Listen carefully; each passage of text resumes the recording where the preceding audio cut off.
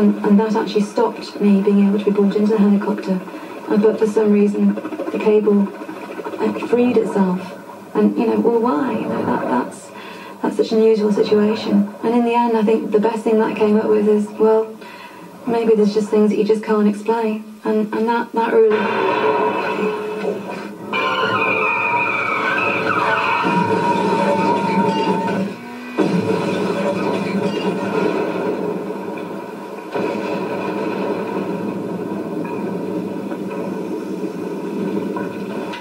Bruce and Gary had landed upside down in the water. Their seatbelts had locked solid. They were trapped.